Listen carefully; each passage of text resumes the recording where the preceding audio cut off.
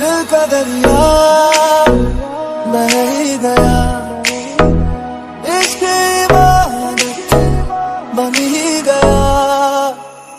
खुद को मुझे तू सौंप दे। मेरी ज़रूरत तू बन गया।